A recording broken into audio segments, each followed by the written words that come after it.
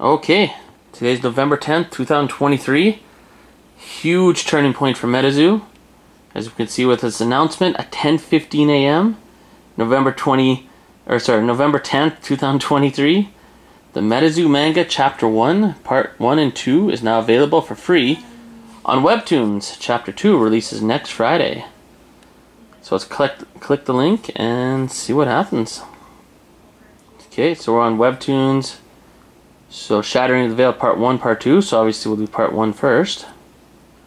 And this is my very first look at this, so I'm going to read the story and give a little commentary while I read the story. Just based on what I see, what I think I know, all that good stuff. Story by Michael Waddell, art by Rock Alves. Very nice. Okay, so chapter 1 Shattering of the Veil. At 3:01 a.m., November 15th, 1966, a dark figure emerged from the forests of Point Pleasant, West Virginia.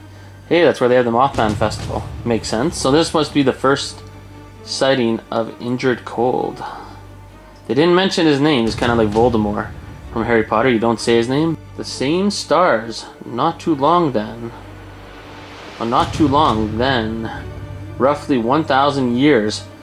So he's been gone for a thousand years. That's interesting. I don't know anything about that. But, uh, Looks like he's ready to kick some ass. He's got a nice suit on. I think it's almost time. So he's summoning some power. The veil is thin hair. So, wouldn't you agree, old friend? Oh shit. Here comes Mothman. See that artwork? Hmm. When artists do sketches on cards at collecticons and stuff, I have a card with uh, a little sketch like this on the card. That's kind of cool. Uh, tell me what you see, old friend. Tell me the future. And I will do my great work. The man in black whistled a merry tune, and the darkness followed. Oh shit. So the veil that he's referring to, I think it's like, if you watch, like, say, Marvel or whatever, like, whenever they have a kind of like a portal between dimensions and opens up in the sky. It's kind of like that. Oh shit. So what do we got here? Uh, ooh, Moth, Moth. So there must be the Mothman Festival. Yeah, up here. At 10.06 a.m., August 12th, better known as Mike Waddell's birthday, uh, 2024, a baseball game takes place right outside Point Pleasant, West Virginia. A young boy, Sam Sinclair, age 8, plays for the Baxter Middle School Mothmen. Okay. That's cool. So playing baseball. The boys on Sam's team and the opposing Cumberland Dracos, oh the Cumberland Dragons, are 12 to 14 years old, but Sam and his best friend Adam Ackler, also 8 years old, are talented beyond their years. So it's kind of like a Connor Bedard or Connor McDavid or Wayne Gretzky, someone like that. Mm, what do we got here? Jackos. So they're playing baseball. Through their special connection, Adam senses the inevitable and slows his run to third base. Okay. Boom! Well, I should say slam. Whoosh. Away, crash. Okay, so Sam just hit a home run. We need uh, baseball jerseys with the Mothman on it, MetaZoo. I'd say this would be a pretty hot item. So the crowd's going wild. Moth, moths. So Team Mothman just won. Adam Ackler and Sam Sinclair are very happy. Giving a high five. Everyone's cheering in the background. Oh, what's happening here? Our help. Okay, that's not good. Woo, please. Wow, stop. So that's Rose. That's Rose Robinson right there. Oh, Adam Ackler's smiling. Or sorry, that's not Adam Ackler. That's Indrid Cold, the bad guy. Mr. Burgeons, the local librarian, spent his weekends making chili dogs for the Mothman baseball games. Oh, okay, so he's chilling, he's having a hot dog. Oh, shit. When his aura released, it caused him to rapidly age. It looks like he got shot in the head like Terminator. Okay, well, that's not good. What do we got going on down here? Drake Dillon, who loved nothing more than to play catch with his father since he was a young boy, watched as his parents burst from the inside. Holy moly, that's not good. So, I guess uh, evil is coming. Uh, this guy's cleaning up some trash. Playing with uh, Pidgeotto from Pokemon. I guess he got one.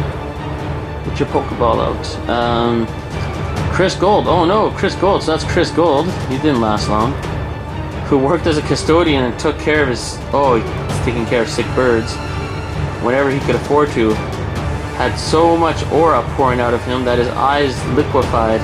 So he's turning into Cyclops. Holy moly. I hope his head doesn't blow up though. Let's see here. Badge for poor Sam and Adam Ackler. They're turning into Care Bears. They're about to do the Care Bears there. Holy moly. This guy's turning into a rainbow. Hey, it's Argos, Lizard Man. Well, that might be uh, Dragon of Ocon or not, um, Cumberland Dragon maybe. This guy up here blew up. So that might be the caretaker. What's his name? Chris Gold? Cool name, but didn't help him much. He just blew up, and these two people are trying to sneak out of the stadium. They're like, uh, we gotta go. So what's going on here? Oh, they gave a high five, and the shock waves from the high five blew that guy up. Oh no, was this guy in the previous picture? Hold up. Oh, this guy too, I didn't notice him. So he's toast. Holy moly, okay, so all hell's breaking loose. Uh, we got, maybe this is the Dark Mothman and the Light Mothman? Or maybe there's just Mothman coming in. Holy moly. Okay, so, at 10.09 a.m., August 12th, just gonna go down a little, 2024, August 12th is Mike Waddell's birthday, the guy that created MetaZoo. Uh, the veil separating magic and mystical creatures from our world shattered. Okay, so the dimensions are, you know, yeah, it's kind of like when Loki was trying to bring all the bad guys to Earthrealm and they were making that portal. That's kind of what's happening here. So, Earth is in trouble. Only 1 in 10 people successfully unlock their powers, and of those, even fewer survive. So 10% people got powers, but then even some people with the powers died as well. So that's not good. Uh, the world as we knew it was thrown into chaos, and chaos reigned. For a while at least. The biggest change though, why it was the emergence of none other than. Oh, here we go. Beasties, hence MetaZoo. Hey, it's Snipe That's pretty sweet. Who's this dude? Open that door. I don't know who this is. I'm pretty familiar with the other beasties. I won't go into it because anyone that's watching this for the first time, you need to collect the cards and well, look at this. We've got Loveland Frogman right here. I'll mention that one just because that is probably the second most popular beastie in all of MetaZoo besides Mothman. In third place would be Piasa Bird. Four years later, Sam Sinclair is 12 years old. Okay, he's going to school so things must have normalized a bit. Morning, M. Who's M? M is morning. So he's going to school. M's making breakfast. What does it say here? He's making cookies. Oh, maybe for later, for when Sam gets home from school. I doubt he's making cookies for breakfast because they're not even made yet. What's happening at the sink? It looks like there's some magic stuff happening here where the dishes are washing themselves. Yeah. M. M was Sam and Adam's adoptive parent. He appeared mis mysteriously a few days after the veil had shattered and helped restore order to the town of Point Pleasant with his impressive abilities. Oh, okay. I never heard of M before. I don't think so. Uh, fashion sense. So this is what uh, M's Profile. Name M, short for, we do not know. Uh, age unknown, but super old. Looks like a cool dude though. Eye color, ash, gray. Okay. Trousers wrinkled. Because he's a dude. M, you really gotta learn how to cook. The heck is this? yeah, what is that? Let's zoom in. Oh. What is he eating? Is that like a... Yeah, what the heck is that?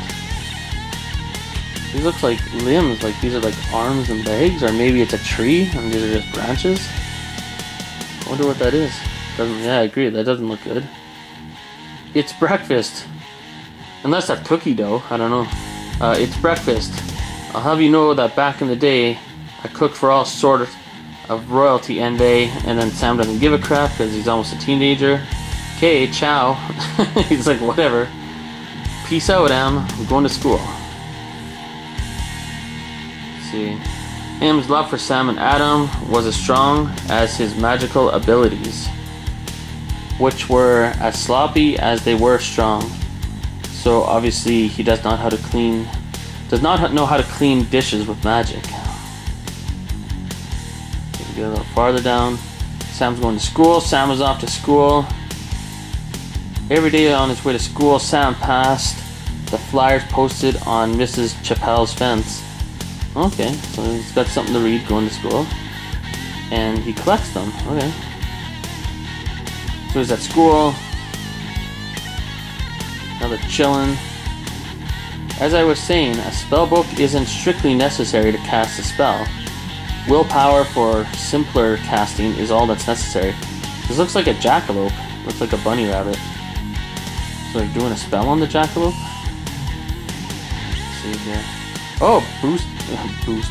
Beastie codename Jackalope. Okay, so I was right. So Adam Ackler doing a spell. Adam Ackler is 12 years old. He is casting. His casting ability already far surpasses many adult casters. Okay, cool, cool. That's all for today, everyone. So he's doing like a little show and tell there, showing off his ability. So the jackalope runs away. Oh, he popped the tire. Okay, well that's not cool. Uh, don't look at me like that, Sam. So Sam's not too impressed. Why do you think I'm... Oh. The massacre created by magic that killed both of our families. Why do you think I'm learning this stuff? How else are we going to stop? Okay, so he's learning the magic. So maybe Sam is pissed off at Adam because he's using the magic that destroyed their families. But Adam's learning the magic so that, you know, they can stop the evil. Hmm. So that's why they got a little conflict between each other, I'm guessing. So Adam and Adam are 12 years old and they have arrived at childhood's end. I believe that's a card that you can collect in MetaZoo Topps Chrome. Or MetaZoo Topps. That's interesting. So, okay, so he's aging a little here. Sam Sinclair is 13 years old. The world didn't end, it only changed. Hey, he's got a Hodag hat on. Sam Sinclair is 14 years old. And Unity City has been officially founded. Okay. Sam Sinclair is 15 years old. He's taken to using his cryptid cam to capture the images of cryptids around Point Pleasant. Okay, so cryptid cam cards are in MetaZoo Topps Chrome. And first sighting cards are in MetaZoo Topps, but those are very hard to pull. That's cool. So he's like uh, doing like Pokemon Go. For anyone that doesn't know MetaZoo, it'd be like the same similar thing. Sam Sinclair is 16 years old, and his morning bull oh no, and his morning bullies make their on-time appearance. So Sam is getting bullied like every kid, or most kids which sucks, but it makes you a better person when you grow up. It makes you stronger. So let's see, Sam Sinclair is going to get ass kicked. They have a promo card this past year of Sam Sinclair with a bloody nose. The Bullies, Blake 17, Stefan 18. Is that Blake from Blake's Breaks? Anyways, if you know, you know. Uh, Victor, age 16. So, okay, they're gonna kick Sam's ass, so slam. Oh! Beastie codename River Dino. So River Dino is beating up Sam. Okay. So these guys are just a bunch of assholes. Uh-oh, look out, Sam. Haha, easy, Blake. You're gonna kill the damn kid. Holy crap. Tap, tap. Help me understand, Sammy. Why don't you like casting? Uh-oh, spellbook's out. Flush. Come on, do it. Cast one. Or, sorry, cast one tiny spell for me. Do you even have the juice? About to growl, but not quite. What the, what the hell are you doing, Blake? So something's happening. Uh oh Sam Sinclair got his ass beat. Adam, oh, Adam shows up in the shadows. Oh, look at this. What's going on here, Blake? Oh, crap. Oh, so everyone's scared of Adam Ackler. Dingbat, go. Oh, this Dingbat's gonna get messed up. Fireball. Lightning, lightning whip. So, Hadouken. That's not gonna work out too well. Oh shit, something's happening to the bullies. Obviously, because oh look at this, this is badass. I like this. This is like Gohan from uh, Dragon Ball, Dragon Ball Z when he's a teenager. He's not worried about the bullies. He just powers up a little bit without pulling out a spell book, without even taking his hands out of his pockets.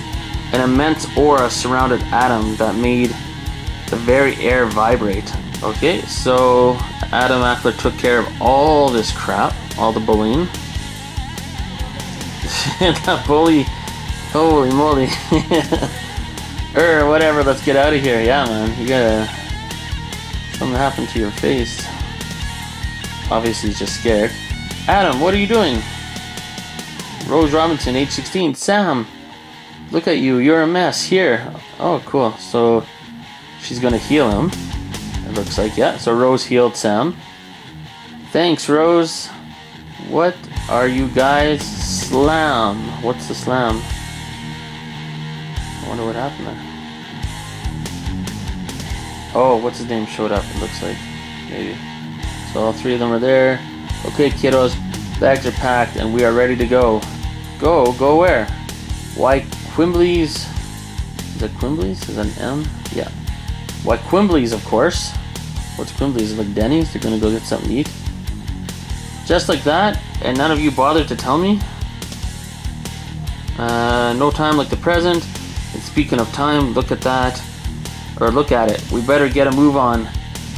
If I'm going to lower the barrier before nightfall. Oh, okay, so um, yeah, it controls the barrier between the beastie world and ah, the youngest students ever admitted to Quimbley's. Oh, okay, Quimbley's is kind of probably like uh, a school for gifted teenagers, like uh, Professor Xavier, you know, the X-Men school. Before Am could explain, before Adam and Rose could say their goodbye, Sam was gone, running faster than he had ever than he ever had in his life. So Sam ran away. So he does not want to go to Quimbley's school. Hmm. Oh, I remember this scene. I've seen this in a card before. For some of the artwork. He's gonna jump out that window soon, I think. Sam Sinclair is 18 years old. The pain of Adam and Rose's departure still stung, but the days turned into weeks, which turned into months and in the way only the young can understand, the memories and the pain began to fade. Okay. So some times passed. Sam still kept in touch with Rose through Uncle Sam's snail postal service, USSPS. That's cool, Uncle Sam. That's a card. Uh, but Adam only ever wrote to M on paper that would mysteriously disappear the moment it was read, and M kept his secrets. Oh, so Adam Ackler does not keep in touch with Sam Sinclair. Oh, look, it's all of Sam's tools. He's to put in his bag probably soon. I know that because I collect the cards. Uh, for the past few nights, for the past few nights though, Sam had been sneaking out of his window to investigate a massive surge in spiritual aura that could not be easily explained. What made the surge all but impossible was, of course, M's veil. When the first, or sorry, when he first arrived to Point Pleasant, he installed an immense veil that kept the spirits that had emerged with the shattering of the veil at bay. So he's kind of like uh, Doctor Strange. He's able to use his magic to keep all the evil from the other dimensions out. Uh, yeah. So there's a yeah. See, like it's in the sky, right? trying to keep all keep that dimension closed. Other cities were not as lucky. Oh, okay, so that's why they can go to school, because the city they're in is protected by M. Earlier that day, Sam, M, I've been. Oh, sorry, say, M. I've been noticing that there are more spirits. I've been noticing that more spirits seem to be slipping through your veil. Uh oh. Well, that's not good. To help those mourning their loss, sorry, to help those mourning their lost loved ones, M made it so the veil would filter out any recognizable facial features. But still, somehow, some spirits were slipping through. Hmm. Well, looks like a radio tower. Is it getting weaker? No, it's not that. Hmm. You said your veil was the most powerful one cast on the East Coast. That's interesting they say East Coast because all Metazoo stuff's on the East Coast and the West Coast is waiting for you, Metazoo. Uh, that's right. Then what? Sam, all veils imperfect. Uh, all veils are imperfect in their own way. Okay, so so not even M knows why the spirits are slipping through. Oh, Sam's packing up to go out for another night. Oh, he's got the bat. This always reminds me of uh, The Walking Dead, you know, with Negan. Oh boy. Is anyone reading this? So it's a radio transmission. That's scary enough, but it isn't nearly as scary as the fact that on this side of the veil, they still don't have faces. So there's Sam jumping out of his window. One, two, and three, testing. Haha, how's it going tonight, ladies and gentlemen? And cryptids, this is Cyril, your lovely and dedicated host, coming to you live from the center of paranormal activity, Point Pleasant, West Virginia. The greatest apologies for the static. It seems the station has its own fresh batch of groupies and groupies outside, mucking with the reception. So there's Sam jumping out of his window onto the side of the house. Now he's walking down the sidewalk. Well, for those that can hear me, we've got a lot to cover tonight. First up, we got another Mothman sighting. That's right, folks, our very own Point Pleasant mascot, and the cause of two of the most horrific events in the city's history, in this city's history. That ghoul has been sighted seven different times in as many days all over West Virginia. Oh yeah. Sam Sinclair is going to investigate. He's going towards the radio tower. Before that, a quick word from our sponsor, Hodagos. What is this, cereal? A nutritious, all-natural breakfast cereal with real forest greens. That sounds horrible. And what better way to wash down Hodagos than with our second sponsor? What is this? Minnesota? It's like Minnesota. The coolest bev. Why would you drink a beverage after eating cereal? That's like having a can of like Coke after eating Cheerios. But uh, that's different. And you don't really want uh, Coke and milk to mix together. Pour those two into a cup together, you'll see what happens. Um, so yeah, we got sound here. Boom. Okay, so the radio tower Mothman is coming out. Okay, whoosh. So all hell's breaking loose. Oh, Mothman is looking at Sam Sinclair, so we're gonna zoom in here. So he's either looking at him or blasting him with his laser beams out of his eyes. So that can't be good. Oh, we got the radio station here. Chilling. This guy's like, oh shit. I wonder what his name is. Boom! Okay, so their podcast is over. So Sam is being hypnotized, or you just can't believe he's looking at Mothman. Okay, what happened here? I'm falling, falling. When Mothman's gaze turned upon Sam, he fell. And in, in this darkness, he saw a future filled with his greatest fears. Hmm, that looks like M right here. But who are the two people holding hands? Interesting. Boom falls. Uh, it's on the ground. Sam, you're really not supposed to be out past dusk. We discussed this. Oh, so Am caught him when he's falling. Don't look at it, Sam. Look only at me. Clever, they use contracts with spirits to change their energy signature. Enough to slip them past my barrier. That's probably important. They use contracts with spirits to change their energy signature. Enough to slip them past my barrier. Interesting.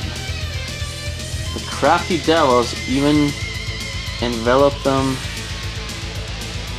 in veil so I couldn't see just how many of them actually slipped in. So quite a few beasties probably slipped in. Tisk, to think someone could have tricked me like this. I've gotten too old. Listen up very closely to me, Sam. I'm going to fix this. It was then that Sam realized that while with a single gaze Mothman made him fall, M had been holding it in place with his own eyes for the entire conversation. Oh, so M's holding like Mothman in place. What are you talking about, M? Please. I'm so sorry, I won't stay out late anymore. Can we just go home? I don't know, man. Sam, I think you messed up.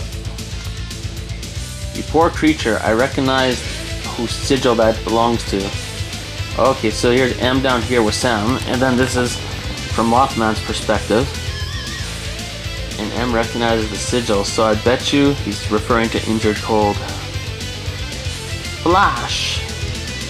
Boom, spellbook time. I will release you, old friend. Oh, crazy. Hey, he's got his pajamas on. But, uh, okay. So all hell's breaking loose now. Home, let's go. Sammy, listen to me. Sam, you have a good heart and you're going to do amazing things. People in this world need you, so help them, please. Your journey will matter more than you know. And take this old book from me. Oh crap, he's giving his spell book to him. I only need one last spell from it. Ripping the page out. Okay, what's going on here? Slam, goodbye. Oh no, what? Well, that's not good. Um. Oh no. So what the hell just happened? So, my son. What? Hold up. Move back up. Oh, he said goodbye, my son. So, is he in the page now? Hmm. Sam falling, or did he put Sam into the veil? Oh, and that's it for this week. Chapter 1 and New chapter next week. Okay, so that was pretty badass. Hmm. Comment below, what are your thoughts? So we slammed him with the book. We took the page out. And said goodbye. Or like, in, like did Sam get put into a different dimension? Or did M going to a different dimension with that page he ripped out? I'm brand new to this, so comment below. Let me know what's going on. I'm sure I could just go read chapter 2. I do own chapter 2, but I'm going to wait for the manga. So, anyways, uh, comment below. Let me know what you think. And I'm going to read this out every week. So hopefully you enjoy it. If you don't, I'm going to watch it anyways. but yeah, uh, we'll see you in the next video.